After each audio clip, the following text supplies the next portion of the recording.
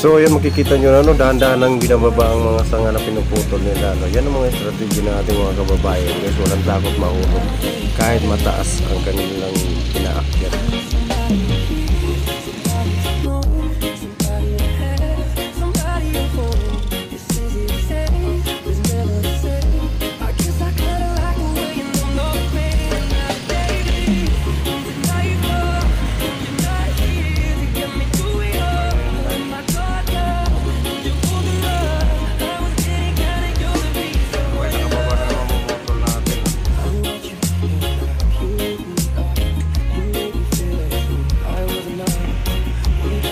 Ayan, naakyat na naman sila uli at mayroon na naman puputulin.